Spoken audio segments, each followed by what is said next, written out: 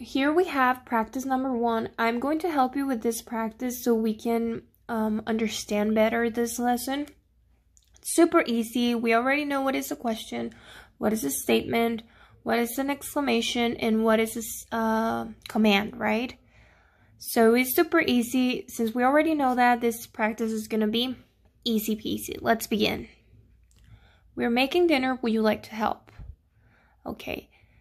Um, are these two sentences or is this one sentence? We have to find out. We are making dinner. Would you like to help? I think we have two sentences here, right? So we need to fi figure out where does the first one um, ends. We are making dinner. Would you like to help? There you go. So it ends right here, correct? We are making dinner is just a uh, statement. Would you like to help?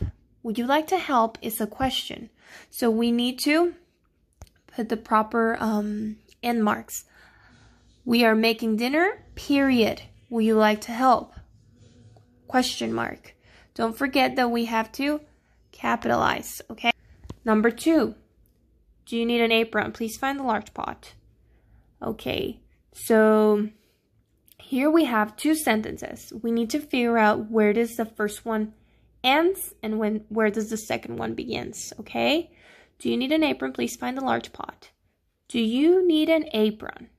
Please, please. So here where we have the word please, we know a command is beginning, right?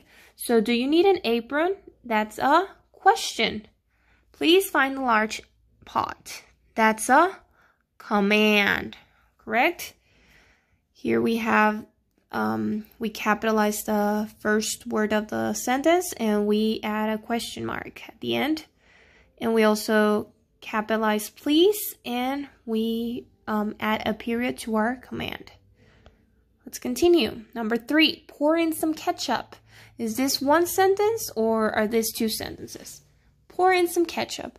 This is one sentence. It begins with the with the verb. So we know it's a command. Pour um pour translates to vacía. Vaciar or vacía. Pour in some ketchup. So we know it's a command, right? We capitalize and we add period. Next one. What should we have for dessert? This is what, guys? This is a question because it's asking us something. So we capitalize and we need a question mark, correct? What should we have for dessert? Dessert is something sweet, guys, okay? Don't confuse. It's not dessert, it's dessert. Dessert is something sweet and is something you have after you finish all your food.